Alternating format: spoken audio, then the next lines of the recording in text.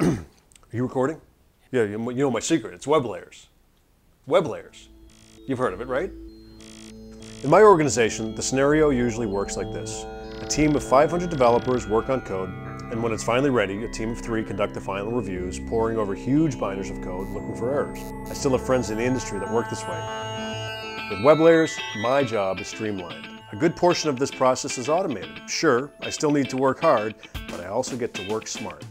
Meanwhile, my friends without WebLayers are having a hard enough time just getting the job done. Trust me, I've been there.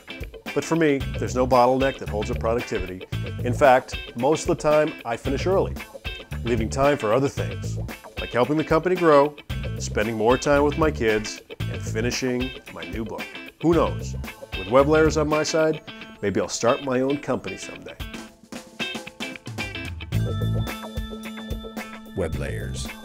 Automate, accelerate, achieve.